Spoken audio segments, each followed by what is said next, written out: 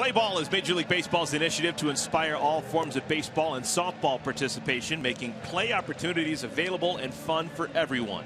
To learn more, go to playball.org. Just yesterday, the Reds hosting a special whiff ball game with former Red left-hander Tom Browning. Threw a perfect game back in his day. That's pretty fun. What was your game as a kid? I, I mean, play we a all lot of played ball. organized ball, but yeah, what kind of We called yeah we called something swift pitch. We just need two guys in a school strike zone. You just put